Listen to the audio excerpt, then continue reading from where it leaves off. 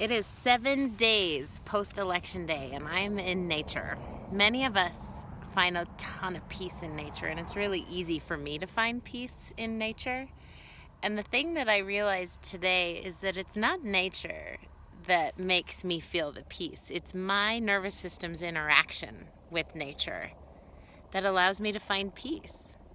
When I'm in nature, it unlocks the key to the chemistry within me that allows me to feel green tree energy. Expansive, open, light, easy, connected, dialed in.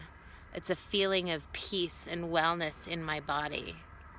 So many of us are finding that again. Some of us are still struggling. So I want you to just think about a time when you were in nature and when you had peace and allow that thought to just trickle in through your mind. Allow it to sink into your shoulders, into your chest, into your seat, into your legs, into your feet.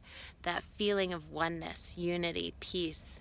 And it wasn't nature, it was your interaction with nature. Therefore, it's your chemistry.